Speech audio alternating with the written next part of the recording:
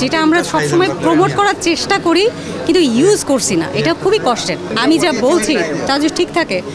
যে কাস্টমার সে টাকা দিয়েই নিবে। এটা যে কত বড় একটা ভালোবাসার জায়গা, চিন্তাই করতে পারবেন না। সবসময় আমরা যারা ইকো ফ্রেন্ডলি ব্যাগ নিয়ে কাজ করি, তাদের সবচেয়ে বড় চ্যালেঞ্জ কিন্তু প্রাইস এটা আপনি খুব ভালো করে জানেন।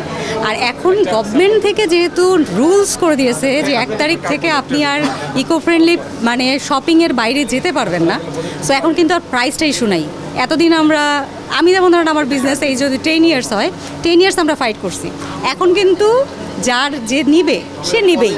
আর আমি আপনাকে আরেকটা জিনিস এনশিওর করি, যদি আমাদের সার্ভিস কোয়ালিটি আমি যা বলছি, তা যদি ঠিক থাকে, যে কাস্টমার সে টাকা দিয়েই নিবে বোঝা গেছে?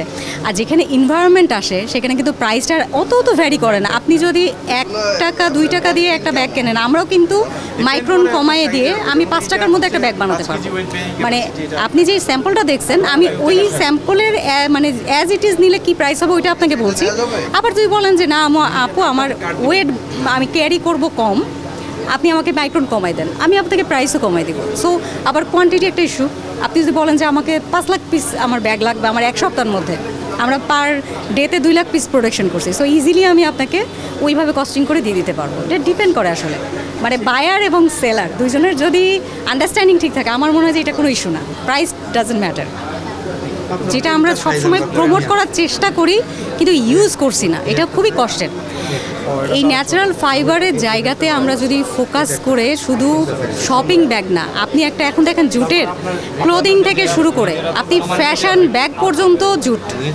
তাই না? আমরা ইউজ করছি। করতে পারি। এবং যদি ডিমান্ড থাকে আমাদের ডিজাইনারের অভাব নেই এবং আমরা কোয়ালিটিও এখন কিন্তু কেউ বলতে পারবে না যে বাংলাদেশের কোয়ালিটি খারাপ।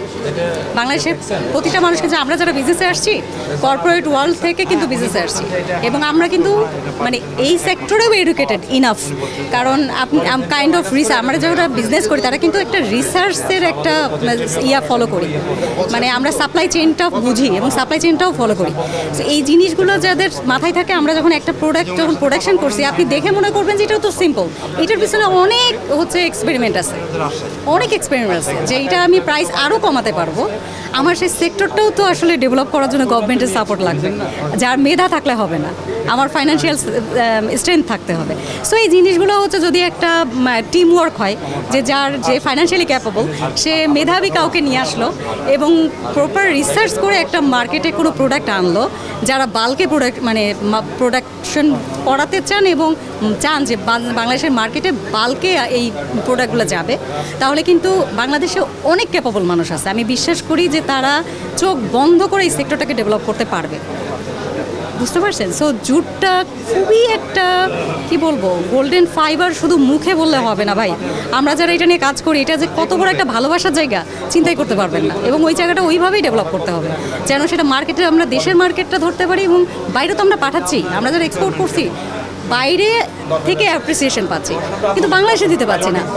পেমেন্ট সিস্টেম একটা ইস্যু আমার মতো ছোট একটা উদ্যোক্তার যদি পঞ্চাশ লাখ টাকা মার্কেটে আটকায় থাকে, ওটার জন্য যদি আমি দশবার একটা অফিসে ঘুরে বেড়াই, আমার তো বিজনেস ফিজিবল হবে না, তাই না? আমি দেখতে পাচ্ছি কাগজে কলমে আমার এত প্রফিট আলটিমেটলি আপনি দেখবেন যে আমার কোনো কোনো প্রফিটই থাকছে সো এটা ফ্যাক্ট এরকম একটা ব্যাগ যদি এক কেজিতে একশো পিস হয়, এক হাজার টাকা কেজি যদি দাম হয়, তাহলে একটা প্যাকেট দাম হয় দশ টাকা।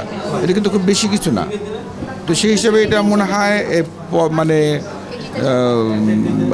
পলিথিনের পরিবর্তে এই মুহূর্তে এটা খারাপ না, ভালোই।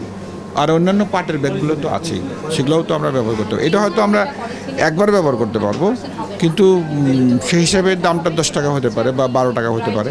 কিন্তু এই যে, এই ব্যাগগুলো দেখেন, এগুলো দিয়ে কিন্তু আমরা অনেকবার ব্যবহার করতে পারব। সেক্ষেত্রে আমার মনে হয় যে ওইগুলোও খুব ভায়াবল হবে, আমাদের ফিজিবল হবে এই এই মুহূর্তের জন্য। তো আমরা চেষ্টা করছি আমাদের মজুরি কমিয়ে বা পাটের কাপড়ের দাম কমিয়ে কীভাবে আরও সহজভাবে, সহজলভ্য করা যায় সুপার শপগুলোতে সে চেষ্টাও আমরা করছি। সুতরাং আমার মনে হয় যে সবাই যদি আমরা একটু কম্প্রোমাইজ করি সব দিক থেকে, এখানে গভর্নমেন্টেরও অনেক দায় আছে কারণ এটার উপরে সাবসিডি দেওয়া উচিত। কেননা পরিবেশ রক্ষার্থে বিদেশ থেকে কিন্তু অনেক অনুদান আসে। বিলিয়ন বিলিয়ন ডলার কোনো অনুদান আসে বাংলাদেশে। সেই অনুদানগুলো কোথায় কী কী কাছে ব্যবহার হয় আমরা জানি না। কিন্তু এক্ষেত্রে কিন্তু সরকার থেকে যদি আমাদের ওয়ান থার্ড যদি ইনসেন্টিভ দেয় এবং মনে করেন যে ক্রেতা যে সে ওয়ান থার্ড দিল আর যে দোকানদার সব যারা সুপার শপের মালিক তারা যদি ওয়ান থার্ড ধরুন একটা ব্যাগের দাম পনেরো টাকা বা তিরিশ টাকা তাহলে দশ টাকা সুপার শপ দিল দশ টাকা গভর্নমেন্ট দিল এনভায়রনমেন্টাল খাতে যে ডোনেশন আছে সেখান থেকে দিল, আর ক্রেতা দিল দশ টাকা। তাহলে কিন্তু জিনিসটা খুব সহজভাবেই মানে সবার মধ্যে প্রচলিত হইতে হইতে পারে। এটা আমি বিশ্বাস করি।